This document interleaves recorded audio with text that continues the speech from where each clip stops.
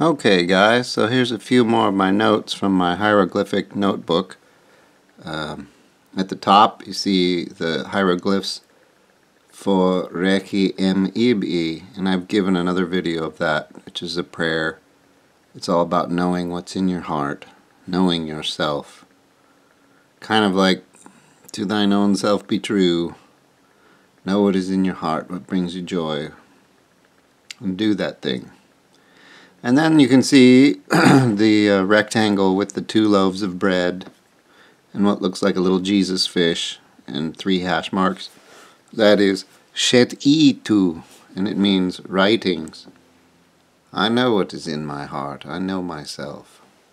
Then you look down to the next line of hieroglyphs. You've got the little D mitten, the uh, U quail chick, and some other weird little thing. I don't know. That's shedu, and it means to educate, which is what I'm trying to do for you. Educate. Shedu. And there's again the Requiem Ibi with the hieroglyphs R, the K, circle with the lines, the little seated man, the owl, the heart. Yeah, just have it there a couple of times because it's a really important saying. Requiem Ibi. I know what is in my heart. And then at the bottom, you have the double uh, helix, the uh, twisted flax, flanking a circle with a dot in it, and that is nehe. And it, it means either millions of years or forever or something like that. A long, long time. Nehe.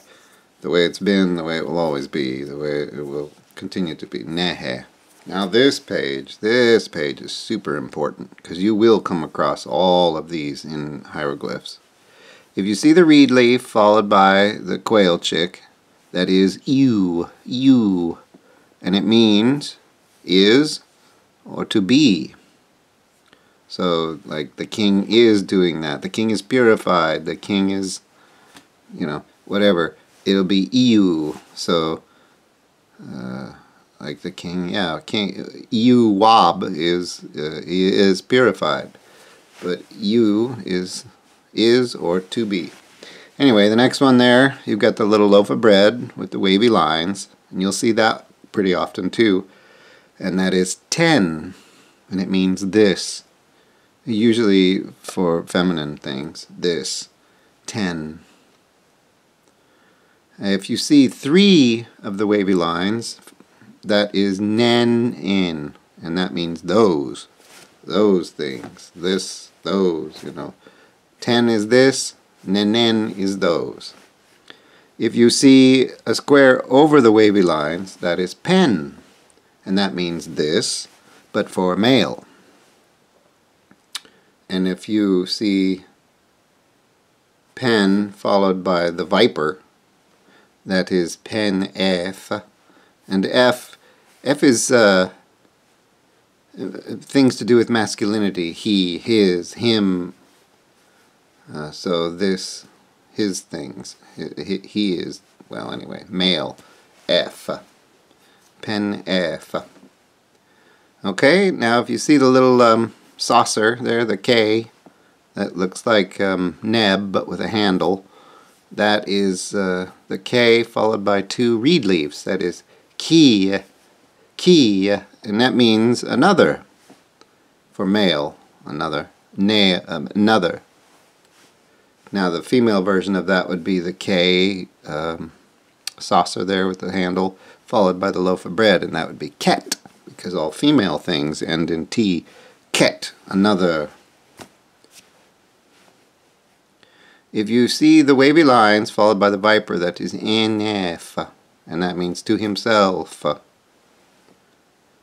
the foot, the profile of the foot followed by the quail chick is biu, biu and that means place.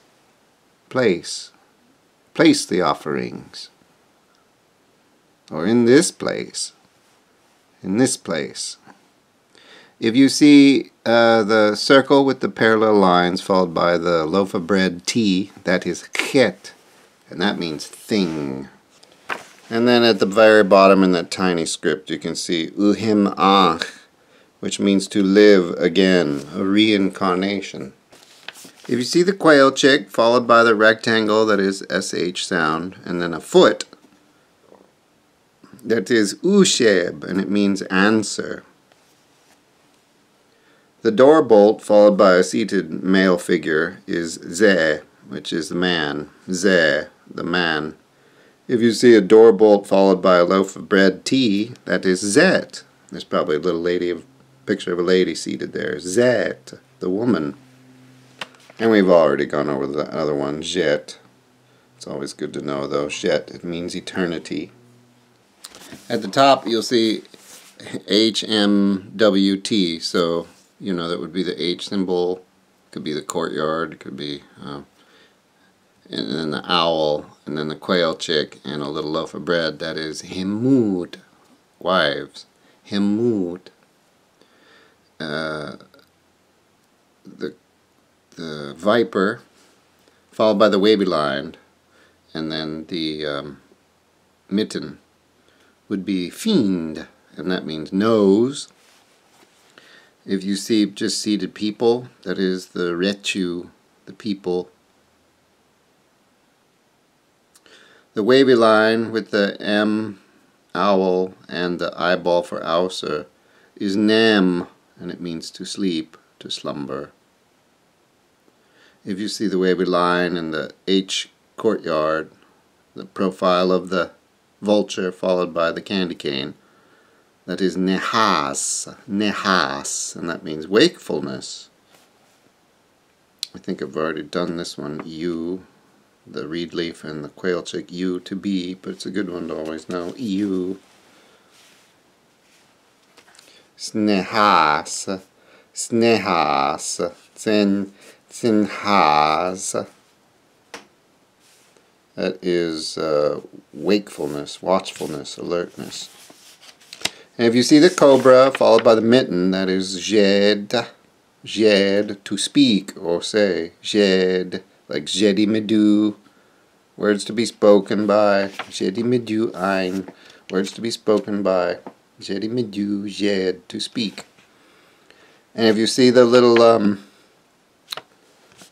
symbol for the pottery stand, the jar stand, that is G, followed by the oval R, that is ger, ger, and it means to be silent.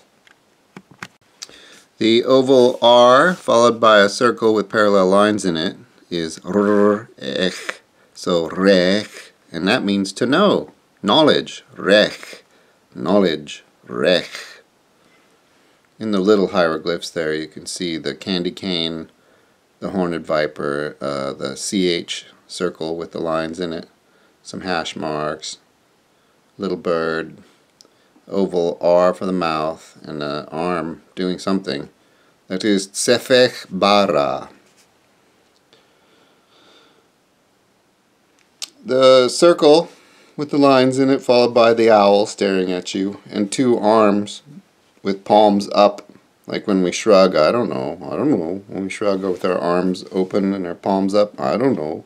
That's exactly what that means. I don't know. Chem, chem, chem. It can also be uh, the wavy line and the R with uh, the R oval and the circle with the lines in it for KH, which is nirech, to not know. and then you have the oval R with the wavy line N, which is Ren. And when you see that, when you see R N, the oval and the wavy Charlie Brown line, that is Ren. It means name. Name. Ren. Uh, there was a some TV show about a mermaid on a couple years ago, and that was her name was Ren, and that's the name they gave her, Ren, because in ancient Egypt that's what that means, Ren, name.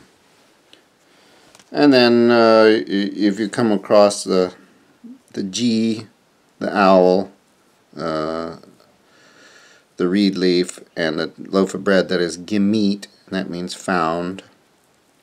The G water stand followed by the owl and the quail chick means weakness, gemu, weakness.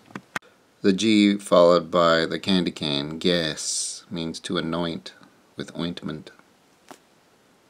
if you see the twisted rope, a double helix, whatever you want to call it, the Charlie Brown wavy line and the arm with the with the hand, that is hene, hene, and it means together with. Then you can see some hieroglyphs in the little tiny drawing there. There's a, a big, um, looks like a perfume jar, then the owl M, the T, loaf of bread, the Nefer sign, and the horned viper F or V followed by an R oval. That is Kunumit Nefer, which means good association or divine association. Now it's kind of interesting, the letters can also be prepositions sometimes. If they're not spelling words with other symbols, then they may be prepositions, like the N Charlie Brown wavy line can also be to or for. So this person is doing this for the god, or he's doing this to the Syrians, or whatever. So yeah, it can be a preposition. And the M, owl, is the same. It can also be in, from, or as the preposition, the owl. If it's just dangling and not spelling a word, that's what that is. It's a preposition. And then finally, underneath that uh, seated lion, you can see the symbol for Amentet, which is in the west, where we go and we die, Amenta. And that's three of the little tea breads, except the first one has a big plume, some kind of feathery thing coming out of the top, and two lines dripping out of the bottom. Then kind of like the Akhet base uh, under it. So you have Amentet. And here we've got uh, Ein. Ein. I, I, covered that on another video, I think. The reed leaf followed by the wavy line. Or the uh, red crown and a reed leaf. That is Ein, which means by. Words to be spoken by. Ein. Ein. And sometimes the reed leaf is omitted. They just have the wavy line, so you just have to know that that's what they're saying. Ein, by. Anyway, uh, the circle with the parallel lines, the k, k sound, followed by the oval r, that is kir, kir, and it means with or near. So this shows approximation in relation to other things. Kir. So places the offerings near this, or uh, that temple is near that thing, or whatever. Here, with, near. And then uh, neti, niti, niti, uh, the wavy line N, the bread T, and the double hash mark niti, and it means which. That's a relative pronoun. Which, which, which thing is which? Then you have ket, um, which means thing. So you could actually have netiquette, which means which thing uh, ket is thing, matter, property, and that's the KH circle with the lines, the T bread over a little uh, scroll thing or something. Uh, uh, kit, kit, kit. And I've already done that. Geru, we covered that. That's the silent man. Geru. Anything with ger is going to be quiet. Ger, nighttime. Gere, you know, ger, nighttime is quiet. Geru is the quiet man. And isn't that funny that that cartoon guy uh, is Gru, Gru, Geru, the silent man, Geru. Anyway, so for those of you who enjoy a little red wine or a little white wine, this next one's fun. It is Irp, and it means wine. You'll either see that little symbol of the uh, grapes hanging on the vine over little support sticks, or you will see just the Irp, the I reed leaf, the oval R, and the P square, Irp. And then Henket is the one for beer, and you see that, it's right under the word beer there at the very bottom. It's the double helix, uh, twist, twisted flax thing. Then the K from the eroded hill, and the T from the loaf of bread. Heket, Henket. And there'll be a little jar. You'll see the jar for the beer. And then the brew house is uh, At Henket. And then on the side margin, I don't know if you can see it, but you got to turn your head. It says Rekin ech tech ef, which is you knew he was drunk. Rekin ech tech ef, because rek is to know, right? Rekin ech tech ef. You knew he was drunk. So anyway, there's a couple more little notes out of my journal. Oh yeah, and then these last two, I just got to throw these in because these ones are super important when you see, um, I think it's like three or four little vases stuck together, that is henti, and it means in front of.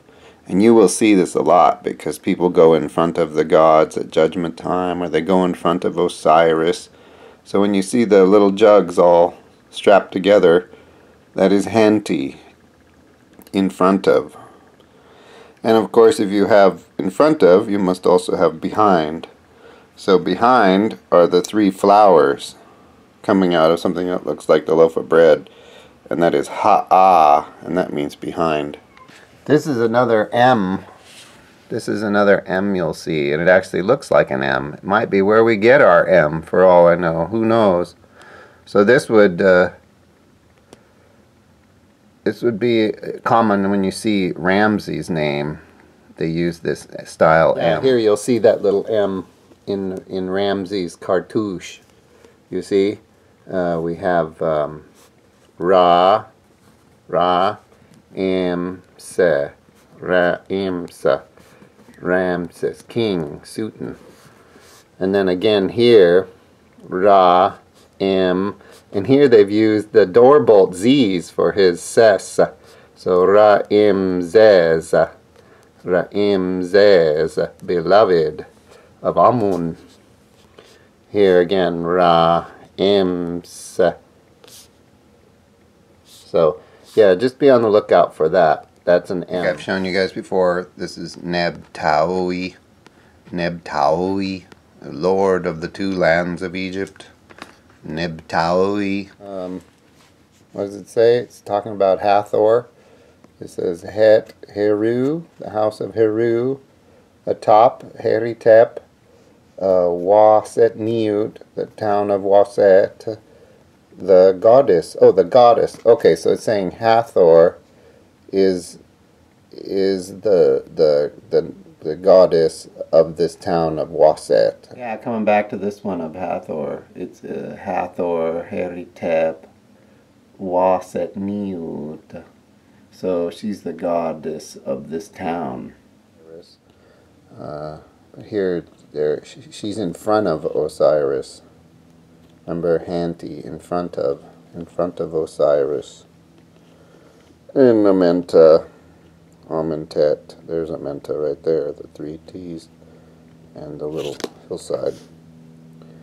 Given life, endurance, and dominion, power, the Lord, healthy, Seneb, healthy Lord, happy Lord, joyful Lord, Awi Ibet. See, they put a T because it's a lady.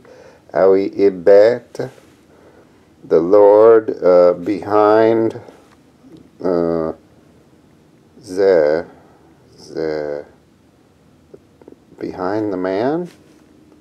Behind the man a lord like you just start to see it. And, and even if you don't get it all gee whiz knowing some of it is a big relief and you can kind of guess what they're saying you know you just kind of work through the things that you do recognize and figure out what it is they're trying to say and the context of why they're saying it, where it's being said. You can kind of piece things together. Just don't let it get you down that you don't know every single word and symbol because there's just too many. I mean, it's a whole new language. But you start to see the patterns and you start seeing similar words again and again, like great and Lord and given and words and the names of the gods and on top of this and that. And so you start to see it really.